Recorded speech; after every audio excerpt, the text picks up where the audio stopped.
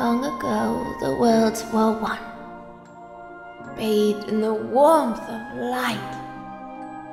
Everyone loved the light. Then the people began to fight over it. They wanted to keep it for themselves. And darkness was born in their hearts. The darkness spread, swallowing the light in many people's hearts. It covered everything, and the world disappeared. But small fragments of light survived in the hearts of children. With these fragments of light, children rebuilt the lost world. These are the worlds we live in now. But they are scattered, divided from each other. For the true light still sleeps, deep within the darkness.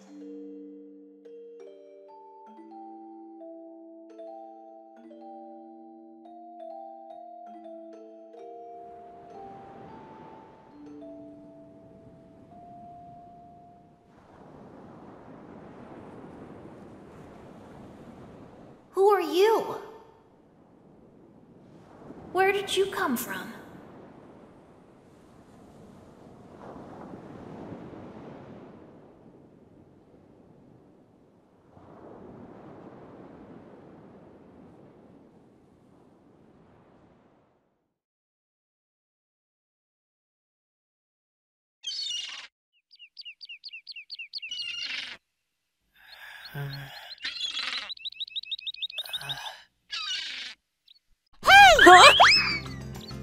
Gotcha.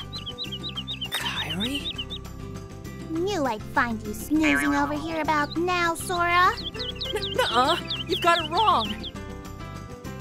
I heard someone calling. Was it a dream? Wow! It's almost done! Our raft! Yeah, no thanks to you guys. You two are always slacking together. Don't tell me you guys were off sharing a paopu fruit or something. Don't say stuff like that, Riku! Hey, I was only kidding. Can't take a joke, huh, Sora? Is there really another world at the end of this ocean? I wonder what it'll be like. We'll know when we get there. We'll find out what kind of world Kairi came from. And uh, we'll find out why we're here.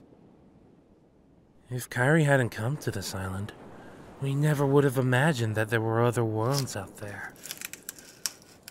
We would have lived out our whole lives, surrounded by this unchanging landscape.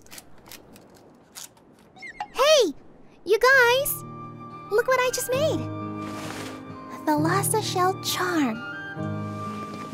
In the old days, sailors wore them to ensure a safe voyage. It's so wherever we go, we'll always make it back here safe and sound. There's nothing to worry about. Come on, let's go!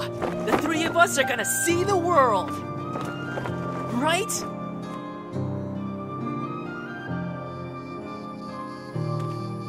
Sora, uh. here. If two people share the Paopu fruit, their destinies become intertwined. They'll remain a part of each other's lives no matter what.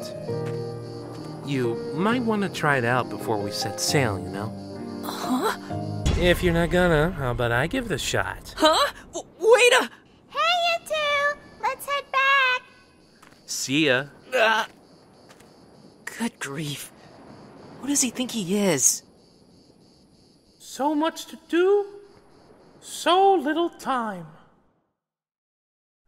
There's no turning back now. The door is still shut.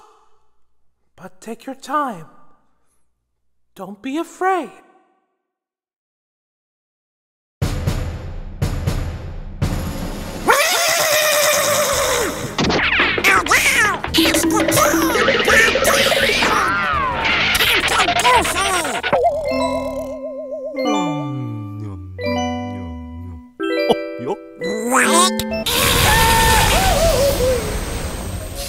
Okay, Tom, and listen up.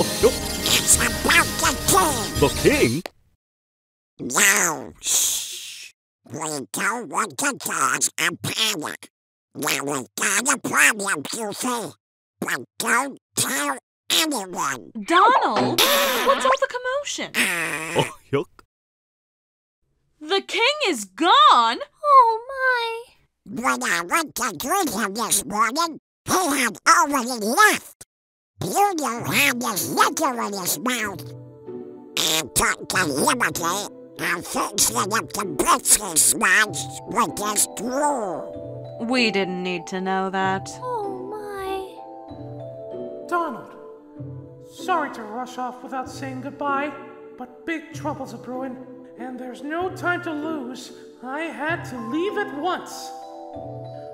The stars have been blinking out, one by one, and that means disaster can't be far behind. I hate to leave you all, but I've gotta look into it. Hmm. Paopu fruit, huh? Bleh, what a fairy tale. As king, Good night. I have a favor to ask of you and Goofy. There's someone out there who holds the key to all this, the key to our survival. So, I want you and Goofy to find him and stick with him. Got it?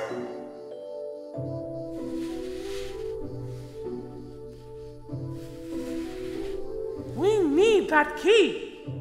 So go to Traverse Town and find the man called Leon. Traverse Town. That's another world! Oh dear. What could this mean?